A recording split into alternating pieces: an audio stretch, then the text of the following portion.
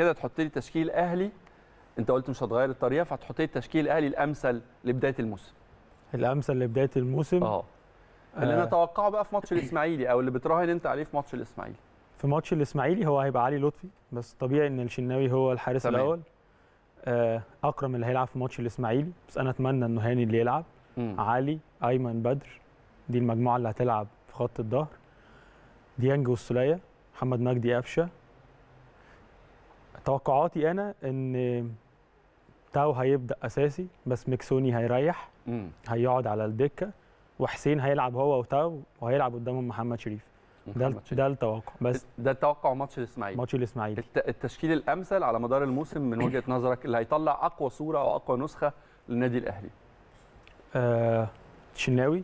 محمد هاني علي معلول بدر متولي مم. لما يجهز إن شاء الله يرجع بالسلامة ديانج عمرو السولية محمد مجدي قفشة حسين الشحات شمال بيرسي تاو يمين أيوه. وحسام حسن.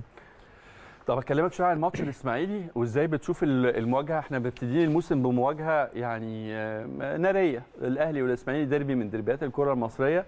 آه، متوقع إيه؟ شكل وأداء الإسماعيلي شايفه إزاي؟ سبقت ال- الموسم وانطلاقة الأهلي في الموسم الجديد.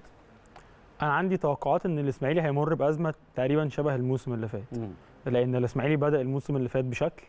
من إيهاب شكل تاني مع إيهاب جلال بصراحة. آه بدأ بشكل وبطريقة وكمل بعد كده بشكل وبطريقة تانية في نص الموسم. مم. لما حاول يصعد مجموعة ناشئين ونهى مع الكابتن إيهاب جلال بشكل مختلف تماما وبطريقة مختلفة أيوه. وبأسلوب مختلف.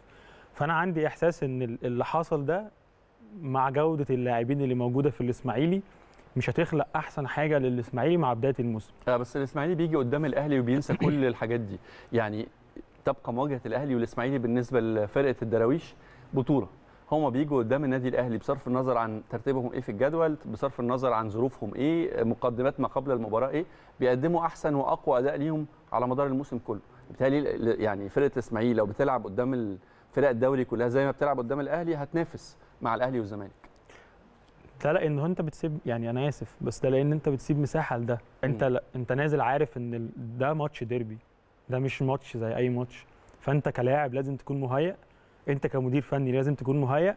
إن أنا لو ببذل في معظم الوقت 70 80% من طاقتي لا أنا نازل أعمل 120 ليه؟ لأن أنا عارف إن المنافس هيعمل 120 أيوه. فإحنا الاثنين لو اتحطينا على نفس السكيل بتاع الروح القتالية هنوصل لمرحلة إن ساعتها الفنيات هتحكم. مم. والفنيات فرق الجودة كبير بين الأهلي والإسماعيلي. مواجهة سهلة من وجهة نظرك بالنسبة للنادي. الأهلي؟ لا هو مفيش مواجهة سهلة. إحنا كنا قلنا الكلام ده قبل ماتش الجيش. مفيش مواجهة سهلة. في الآخر كورة في الآخر 11 لاعب في الآخر في توفيق. بس قبل كل ده في شغل. لو انت اشتغلت كويس قوي على الفرقة اللي, اللي انت هتلاعبها وعرفت الفرقة اللي انت هتلاعبها إيه مميزاتها وايه عيوبها واشتغلت على ده وحفظت لعيبتك واشتغلت معاها في أمور كتير زي الروح القتالية أنا آسف مش هيكون لها قيمة مم. ليه؟ لأنه خلاص أنت بتشتغل فني في الملعب.